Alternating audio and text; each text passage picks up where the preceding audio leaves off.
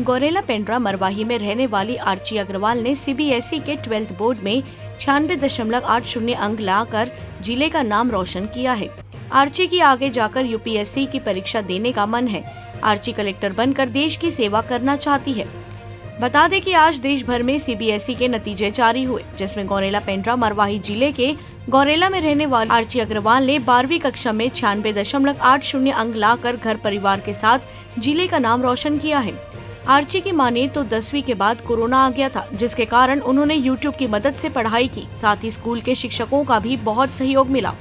Online और offline पढ़ाई की आर्ची की मानो तो यूट्यूब आज के समय में पढ़ाई करने के लिए बहुत ही अच्छा माध्यम है।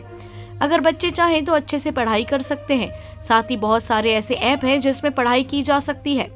आर्ची कहती है कि उसके घर वालों की ओर से पढ़ाई को लेकर कभी प्रेशर नहीं दिया गया। हालाँकि एग्ज़ाम के समय कुछ ज़्यादा पढ़ाई करनी पड़ी थी। आर्ची की माने तो वो आगे जाकर प्रशासनिक सेवा की तैयारी करना चाहती है और कलेक्टर बनकर लोगों की सेवा करना चाहती है। पेंड्रा से अभिषेक गुप्ता की रिपोर्ट। आप किस प्रकार से पढ़ाई करते हैं हम लोगों का जैसे ही टेंथ हुआ था इलेवेंथ में ही कोविड आ गया था। तो इलेवेंथ के शुरुआती दौर से ही मैंने यूट्यूब से पढ़ाई की है और हमारे स्कूल के जो शिक्षक रहे हैं जो मेरे टीचर्स थे वो हमेशा सपोर्ट करते थे।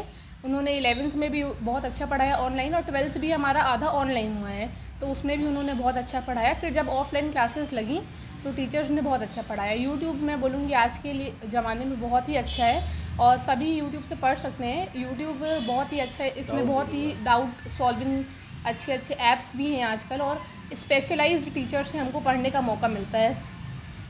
कितने घंटे पढ़ाई करते रहे आप? आ, मैंने कभी घंटे काउंट नहीं किए कि मैंने कितने घंटे पढ़ाई की है। आ, कभी मेरे ऊपर ऐसा पीयर प्रेशर नहीं था कि इतने परसेंट लाना है या फिर इतने परसेंट बनाना है। बस मेरे को जो सब्जेक्ट पसंद था मैं पढ़ती थी मन होता था तो पढ़ती थी। और एग्ज़ाम्स के समय थोड़ा ज़्यादा पढ़ाई करना ही पड़ता है।